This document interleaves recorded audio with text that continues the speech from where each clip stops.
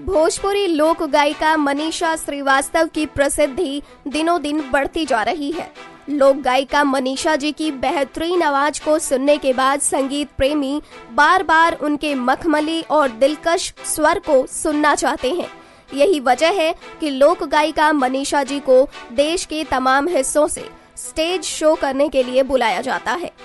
एक तरफ़ जहाँ मनीषा जी की गायकी में कुछ अलग खुशबू है तो वहीं उनके गानों में जो सबसे बड़ी खूबी है, वो है उनके गाने अश्लीलता से कोसों दूर होते हैं। साफ़ सुथरे गाने को अपनी आवाज़ देने वाली मनीषा जी की तारीफ़ भी इसलिए ज़्यादा होती है क्योंकि उनके गानों में लस मात्र भी अश्लीलता नहीं होती। यही खूबी मनीषा को बाकी भोजपुरी सिंगरों की कतार से एकदम अलग पंक्ति में खड़ा करती है।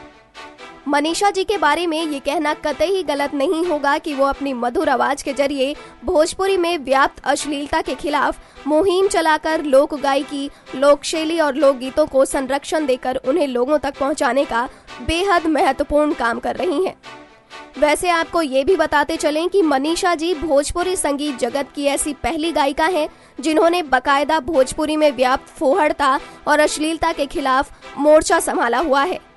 इसी कोशिश के तहत मनीषा जी साफ़ सुथरे लोक गीतों के ज़रिए समाज को फिर से सुरों की चाशनी में डूबे हुए मीठे गीत सुना रही हैं। वाकई मनीषा जी की इस पहल को सलाम किया जाना चाहिए, क्योंकि उन्होंने भोजपुरी संगीत को एक नई दिशा देने के लिए इतनी बड़ी पहल जो की है नेक्स्ट नाइन न्यूज़ रूम से ममता की रिपोर्ट